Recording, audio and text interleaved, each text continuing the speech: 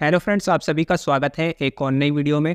आयुष्मान भारत योजना या फिर प्रधानमंत्री जन आरोग्य योजना, जिसके तहत आपको पाँच लाख तक का सालाना इलाज बिल्कुल फ्री में भारत सरकार की तरफ़ से दिया जाता है। ये बेनिफिट उन सभी लोगों को मिलता है जिनका नाम आयुष्मान लिस्ट में पहले से ऐड होता है। काफ़ी सारे लोग ऐसे हैं जिनका नेम आयुष्मान लिस्ट में ऐड नहीं है, जिसकी वजह से वो ये बेनिफिट नहीं ले पाते हैं। तो आज की इस वीडियो में मैं आपको बताऊँगा कि किस तरीके से अगर आपका नेम भी आयुष्मान लिस्ट में ऐड नहीं है तो आप खुद से अपना नेम उसमें ऐड कर सकते हैं न्यू एनरोलमेंट के ज़रिए नए पोर्टल का यूज़ करके। नए पोर्टल पे हाल ही में एक नए फीचर को स्टार्ट किया गया है, जिसमें आप एक न्यू एनरोलमेंट कर सकते हैं। यानी अगर आपका नाम आयुष्मान लिस्ट में नहीं है तो यहाँ पे आप चेक कर सकते हैं कि आप एलिजिबल हैं या फिर नहीं आयुष्मान लिस्ट में अपना नेम ऐड करने के लिए। तो सबसे पहले आपको आयुष्मान भारत योजना के इस नए पोर्टल पे आना होगा। इसका लिंक आपको डिस्क्रिप्शन बॉक्स में मिल जाएगा। होम पेज पे आने के बाद में यहाँ पे आपको नीचे स्क्रॉल करना है और यहाँ पे आपको सबसे पहले तो लॉगिन कर लेना है।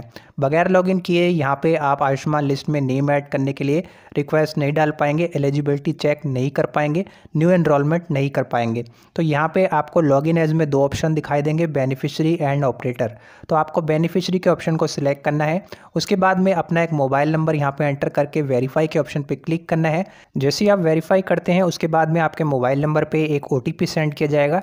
ओटीपी आपको एंटर करना है, दिए गए कैप्चा को फिल करना है और यहाँ पे लॉगिन के ऑप्शन पे आपको क्लिक करना है। जैसे ही आप लॉगिन करेंगे तो आपके सामने नेक्स्ट इंटरफेस कुछ इस तरीके से आ जाएगा, जिसमें आपको स्टेट स्कीम डिस्ट्रिक्ट और सर्च बाय का ऑप्शन दिखाई दे जाएगा।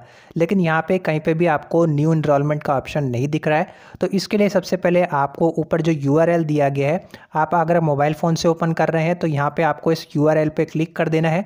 क्लिक करने के बाद में यहाँ पर इसे कॉपी कर लेना है। कॉपी करने के बाद में यहाँ पे इस यूआरएल को दोबारा से पेस्ट कर देना है। और जैसे ही आप पेस्ट करेंगे तो देखिए यहाँ पे आपको राइट साइड में सर्च लिखा हुआ दिखाई देगा। तो यहाँ पे आपको इसको एडिट करना है। सर्च के ऑप्शन को यहाँ से आपको इसको हटा देना है। स्लैश आपको जैसे लगा है, वैसे ही लगा रहने देना है। तो सर्च के ऑप्शन को हटा के यहाँ पे आपको स्लैश के आगे न्यू इनरोलमेंट इस तरीके से टाइप करना है और टाइप करने के बाद में यहाँ पे आपको सर्च कर देना है। जैसे ही आप यहाँ पे सर्च करते हैं तो आपको थोड़ा सा वेट करना होगा और यहाँ पे आप देख पाएँगे आपको न्यू इनरोलमेंट का ऑप्शन दिखाई दे जाएगा। अब यहाँ पे आपको अपनी स्टेट को सिलेक्ट करना है। जिस भी स्टेट में आप रहते हैं यहाँ से आपको अपनी स्टेट को सिलेक्ट कर लेना है और उसके बाद में यहाँ पे आपको स्कीम को भी सिलेक्ट करने का ऑप्शन मिल जाएगा।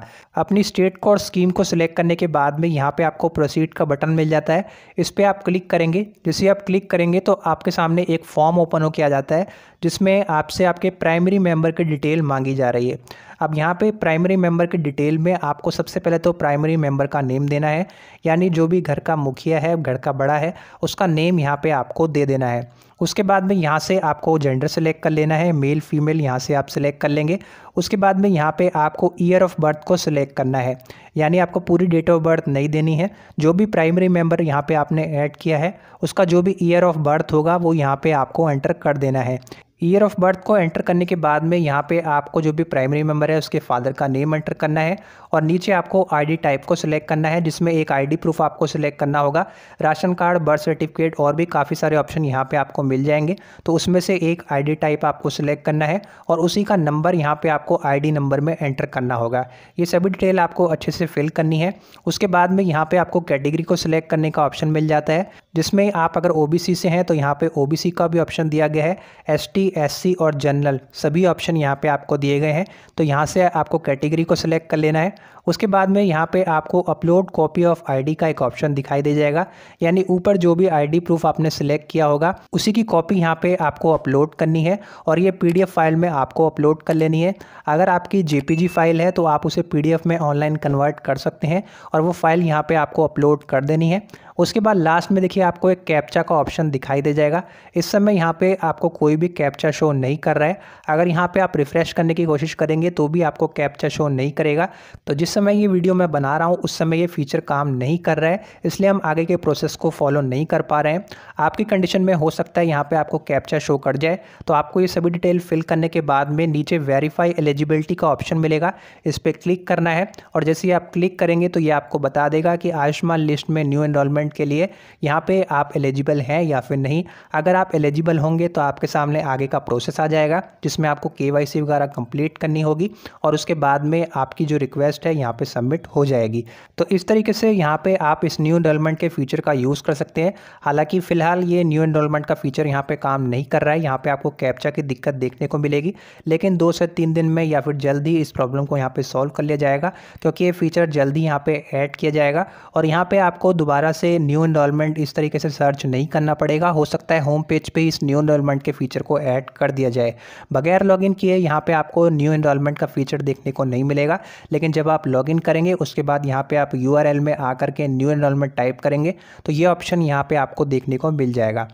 उम्मीद है आप सभी को ये वीडियो पसंद आई होगी। वीडियो पसंद आई हो तो वीडियो को लाइक कीजिएगा, अपने फ्रेंड्स और फैमिली के साथ में शेयर कीजिए। साथ ही साथ वीडियो से रिलेटेड कोई भी सवाल है तो इस वीडियो को नीचे कमेंट बॉक्स में जाके आप लिख सकते हैं।